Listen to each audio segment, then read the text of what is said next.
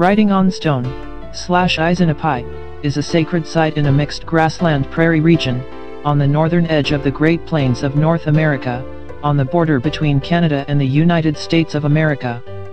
The Milk River Valley dominates the topography of this cultural landscape, characterized by a concentration of pillars or hoodoos, which are columns of rock sculpted by erosion into spectacular shapes.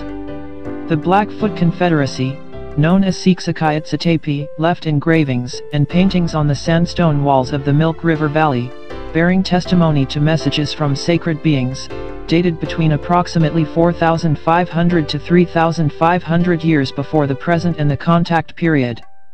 This landscape is considered sacred to the Blackfoot people, and their centuries-old traditions are perpetuated through ceremonies, and an enduring respect for the places.